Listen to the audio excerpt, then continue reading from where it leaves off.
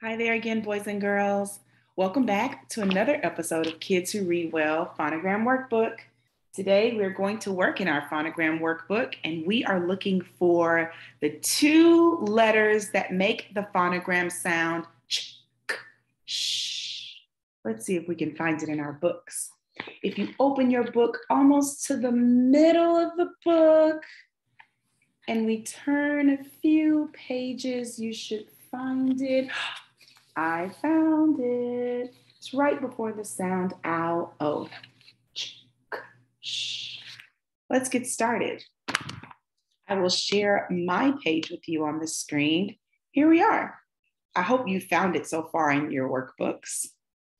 Oh, I see the hand there is holding up the number three. Can you hold up the number three and say the sounds with me?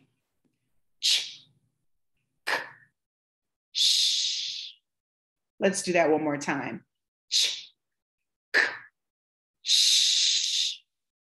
Very good. So most of us know the sound this phonogram makes, but sometimes we'll hear it say and then sometimes we may hear shh.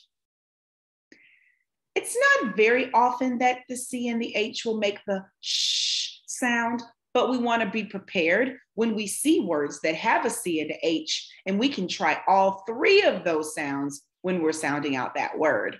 Let's say those sounds one more time. Ch, k, sh. Very good. If we say them a little faster, I think it sounds like a train.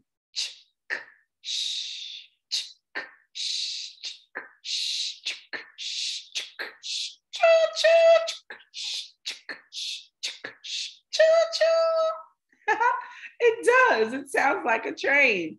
So that's one way that I remember it. When I see those two letters walking together, I know they make the three sounds that kind of sound like a train.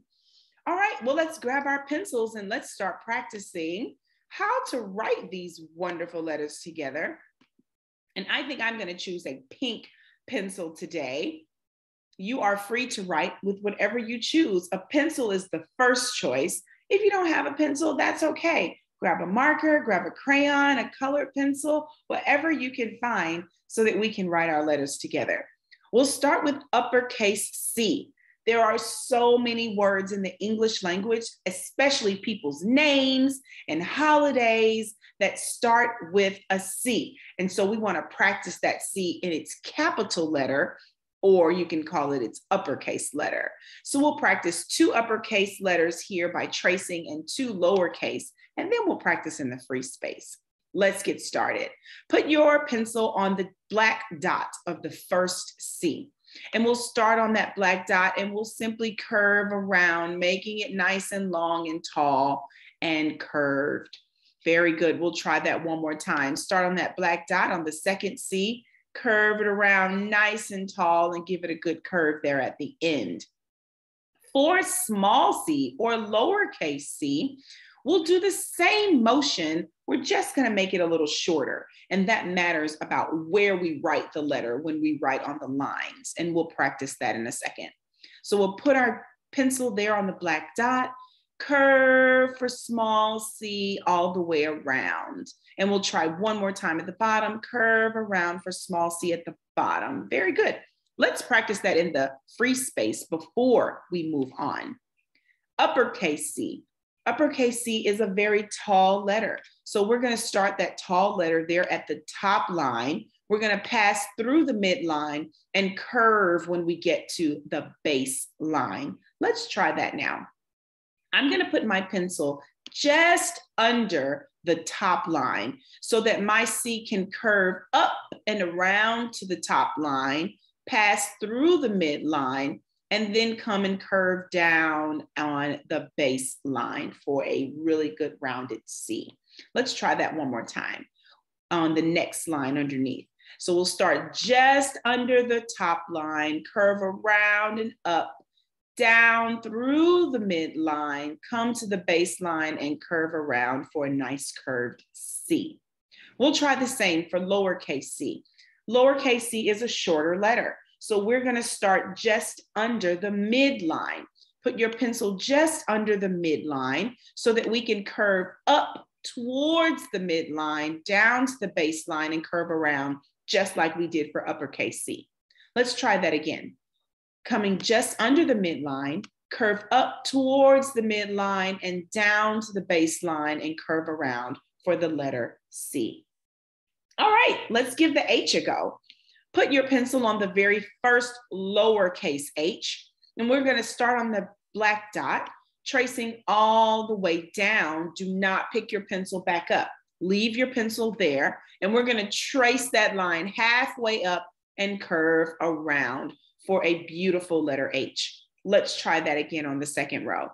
Putting my pencil on the black dot, tracing all the way down. Do not pick that pencil back up. Leave it on the paper. Trace back up only halfway so that we can curve around for the hump on the H. And then we've got two more times to practice with the dotted lines. Let's go for it.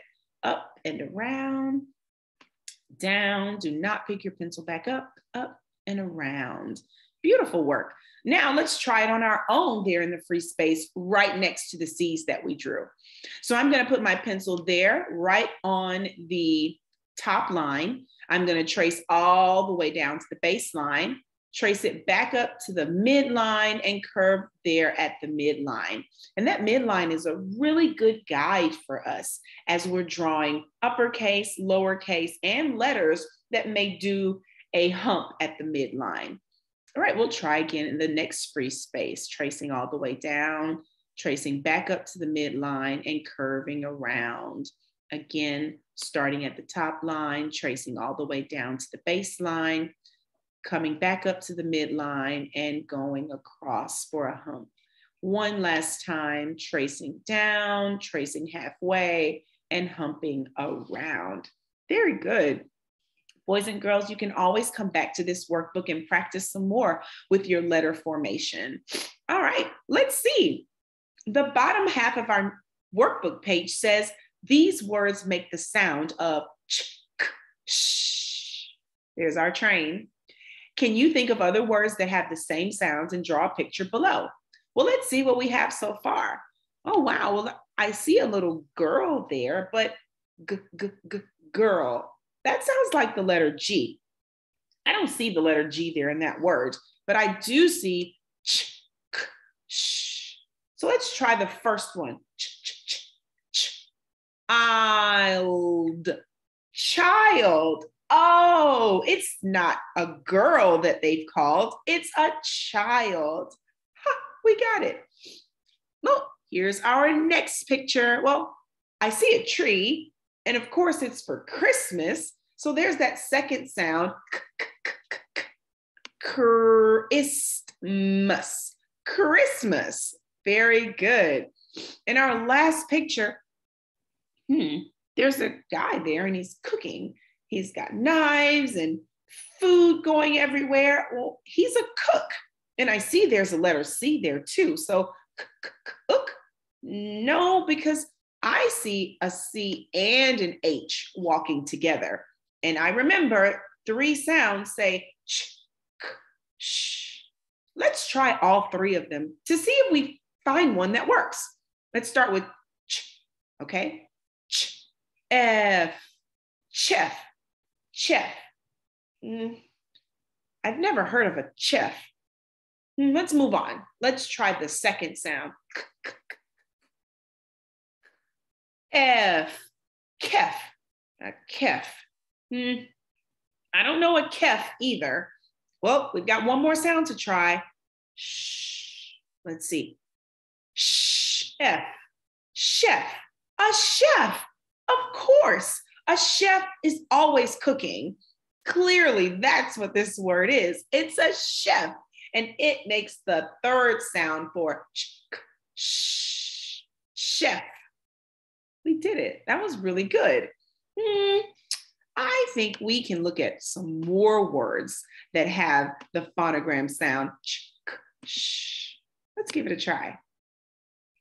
Ah, here on the screen, I see so many words that make the ch sound at the beginning and the ch sound at the end of the word.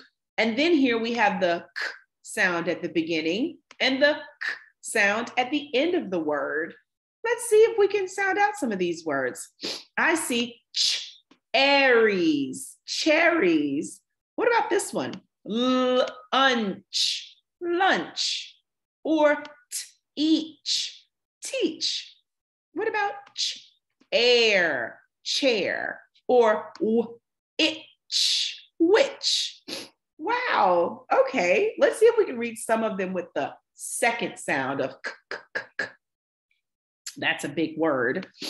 Chemical, chemical. Ooh, be careful if you're ever touching any chemicals because they can really harm you. Hmm, character or stomach.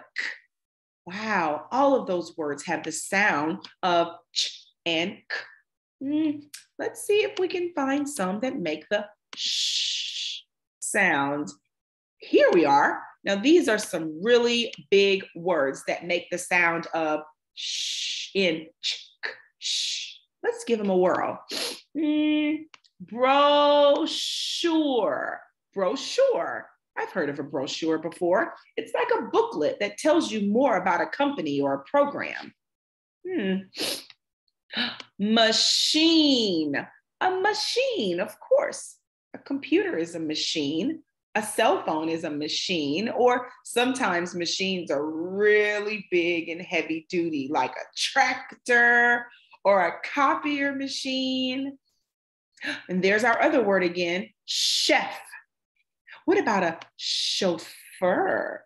Have you ever heard of a chauffeur? When I get all nice and fancy and really rich, I'm going to hire a chauffeur to drive me around in my limousine every day. Chauffeur. It's like a driver that you can hire to drive you around places if you didn't want to drive yourself. And let's look at one more. What about a parachute? A parachute. It's it's one of those really big balloon things that people use when they jump out of a plane. You can't just jump out of a plane, you'll just fall and hit the ground and probably get really hurt or even die. So, a parachute, it kind of helps you glide in the air nice and slowly so that you reach the ground much slowly and you won't get hurt. Yeah, parachute. If I ever jump out of a plane, I'm going to make sure that I have a parachute. All right, let's go back to our workbook page here. If there's any word that you saw today that you would like to draw on the page, feel free. I think that I'm going to draw, uh, I want to draw this. Let's try it. I'm going to draw a sandwich because this is going to be my lunch. And let's see, I'm going to put like some, there's my sandwich hanging out of the some my lettuce and tomatoes hanging out of the bread. Let's see if I can give the bread a little bit of crust there. And maybe I've got a juice box here. Boom. Yes, there's my juice box. Maybe an apple for my lunch. Yeah, uh-huh. There we are. There's my apple. All right, good job. So this is my lunch.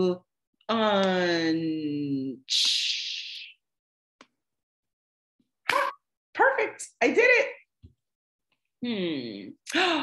I can think of another word that we didn't talk about yet, and you can draw this on your page too. Let's see. I'm going to draw the picture first and see if you can help me guess. All right, there he is. I'm going to draw some eyebrows. There his eyes. He's definitely gonna need a nose for this picture. So I'll draw him a nose and then I'm gonna draw him a mouth. And then I'm gonna change my color because he's gonna get something right here. There he is. Ah, there is hair right under his nose on top of his lip. What is that hair called? a mustache. a mustache.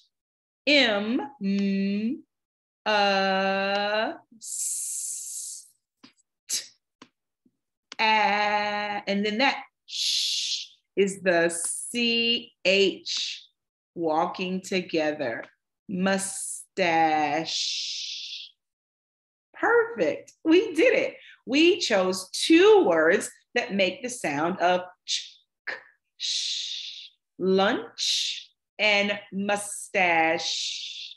If you find any more words that make those one of those three sounds, feel free to come back to your workbook and draw it in so it can keep your mind always thinking about the sounds that C and H make when they go walking together. Let's review those sounds one more time before I let you go. Holding up our number three. Ready? Ch, k, sh. Let's make it a little faster for a quick train ride before we go. Ch, k, sh, ch, k, sh, ch, k, sh, ch, k, sh, ch, k, sh, Very good, boys and girls. Well, thank you for joining me today for another episode of Kids Who Read Well using our phonogram workbook. Remember, if you don't have your workbook, just ask your parents to click below to grab your own copy from Amazon. I'll see you next time, boys and girls. Thank you so much for joining me today.